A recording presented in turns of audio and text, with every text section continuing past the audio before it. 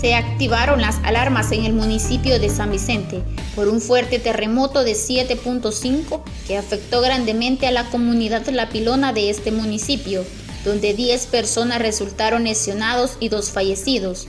Afortunadamente solo fue un simulacro, organizado por la Comisión Municipal de Protección Civil, Cuerpo de Bomberos, Cruz Roja Salvadoreña, Unidad de Salud, entre otros.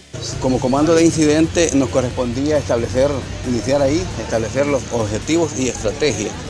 Eh, los objetivos pues, eran em, evacuar a las personas que, estaban, que podían ser afectadas por, eh, por la continuidad del, sismo, rescatar a las víctimas atrapadas, eh, proporcionar primeros auxilios a esas víctimas y trasladarlas a un centro asistencial. Como estrategia decidimos asignar eh, a la Comisión Comunal para que realizara la primera función, que era de, la de evacuar a las personas.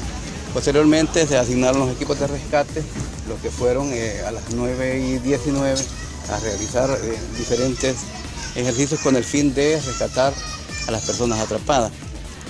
Según las autoridades, este tipo de actividades sirve para prepararse ante cualquier evento, donde se mide la capacidad de respuesta ante un siniestro. Este es un informe de Centrovisión, Canal 31 San Vicente, Wendy Merino, Telenoticia 21.